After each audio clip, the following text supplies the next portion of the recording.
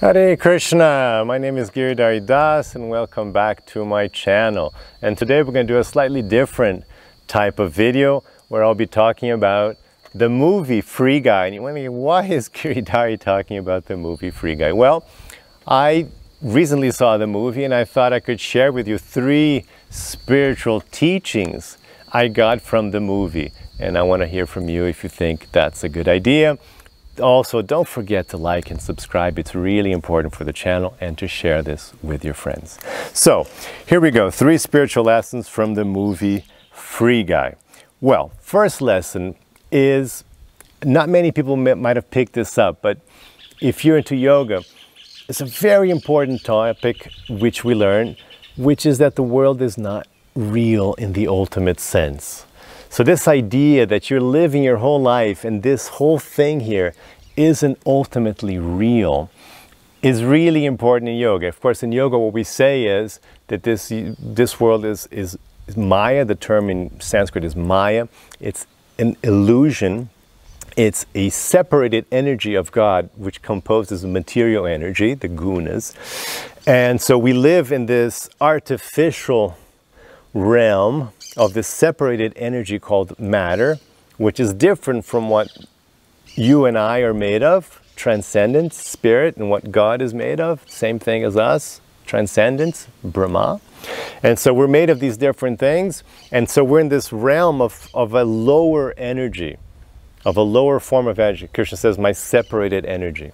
So the idea then in yoga is that you as an eternal soul, you're stuck here, you came down here, you find yourself trapped in a material body, in the material universe, and we have to get out of here and go back home because this isn't the ultimate reality. So, of course, um, Matrix did this brilliantly, right? They did it really well. This idea of like, oh, this whole world I have is artificial.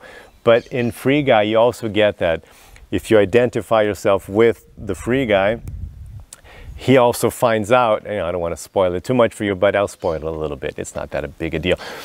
That he finds out that he's in a video game, that he is a video game character. So it's like this whole life he's living, and it's like all of a sudden it's like, oh, so this isn't real. There's another reality beyond this, you know, like the people who made the game, like the outside reality of a video game. And so he gets that feeling of, wow, I've been living my whole life misunderstanding where I, who I am and where I am. So this is very important lesson for yoga. Second thing, um, even though this is unreal, and it follows from the first one, even though it's in yoga, same thing, even though you understand that this is Maya, that this isn't the ultimate reality of the world, still the here and now, still there is a reality to me. Still, this is real, right? This it's not that everything here is false. And in this, and in the movie, there's this scene where his best friend is talking to him. He's trying to tell his best friend that this world is unreal, and his best friend comes up with a great line, and he says, "Well, here and now, this is real. This moment is real." And it's a great line. This moment is real, and it is, right? This this moment is real.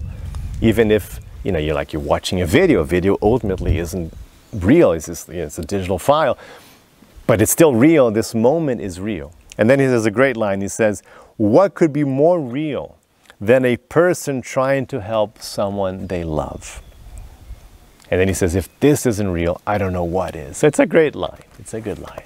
So that's so in yoga we cultivate the here and now. We cultivate this contact with reality, even though we understand that this is an impermanent reality. Even though we understand this, I am not my body. This isn't the ultimate world we're in. But still, we bring our mind to the here and now.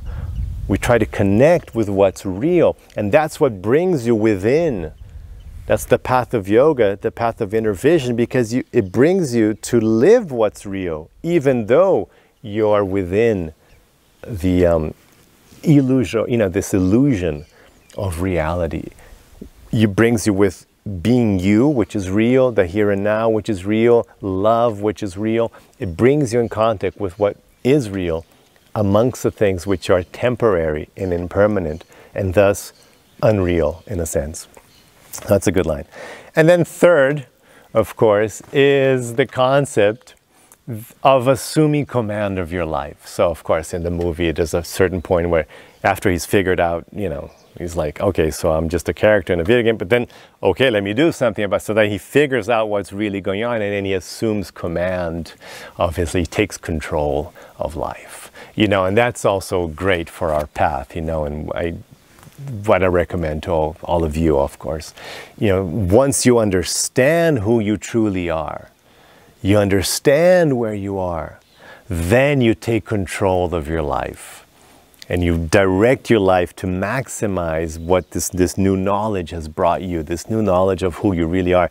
And you, you control, you know, you, you choose your habits, you choose what you do, you take command of your life. You don't let others command you. You don't let, you know, you don't just follow the program as it were. You know, just follow what society told you to do and like you just, you know, go along life. And now you take control of your life, you know, and you do what's actually beneficial for the true you, for the eternal you beyond illusion, the true soul. In yoga, we talk, you know, your Atma self. So you take command of your life and you live your life to reach your ultimate goal. In the movie, he, he reaches some, you know, paradise place. But you know you have we have our paradise place to go to. Not only just living your life is paradise in a sense but of course in yoga and other religious paths we talk about going home you know to a paradise you know with god. So you take command of your life so you can go there and reach your true destination your your your paradise.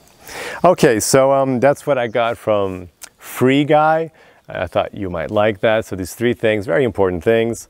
So first, understand that this world isn't ultimately real. There's a superior reality to this, which we would call transcendental reality.